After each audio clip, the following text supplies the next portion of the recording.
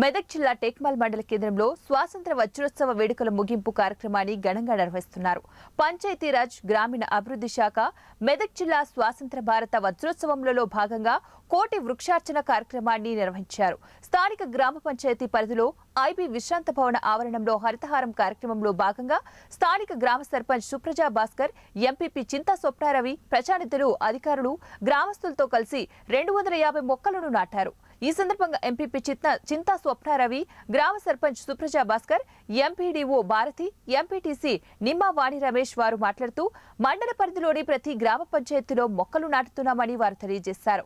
అన్ని గ్రామాలలో యువతి యువకులు మహిళా సంఘాలు ప్రతి గ్రామంలో ప్రతి ఇంటి ఆవరణలో ప్రతి ఒక్కరూ కూడా మొక్కలు నాటి చెట్లను సంరక్షించుకోవాలని చెట్లను పెంచడం ద్వారా చెట్టు నుంచి వచ్చిన స్వచ్ఛమైన గాలితో మనందరం ఆరోగ్యంగా ఉంటామని మనకు ఆక్సిజన్ ఇస్తున్న చెట్లను పెంచడం ప్రతి ఒక్కరూ కూడా బాధ్యతగా తీసుకోవాలన్నారు. మొక్కలు పెంచాలని మండలంలో వివిధ గ్రామాల ప్రజలకు ప్రజాప్రతినిధులకు సిబ్బందికి సూచించారు. ఈ కార్యక్రమంలో మండల MPP Chinta Swapnaravi MPDO Bharathi Tekmal sarpanch Supraja Bhaskar MPTC Nimma Vani Ramesh మండల కోఆప్షన్ సభ్యులు షేక్ మహారాజ్ విష్ణు ఎంపీఓ రియాజ్ తదితరులు పాల్గొన్నారు.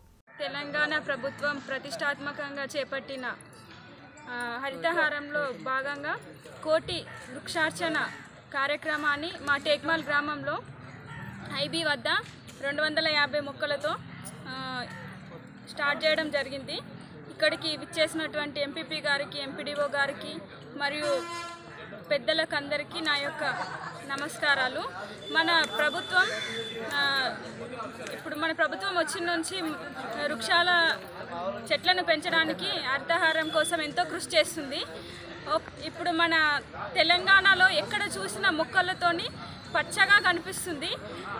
వేరే రాష్ట్రాలకు వెళ్తే ఇలాంటి పచ్చ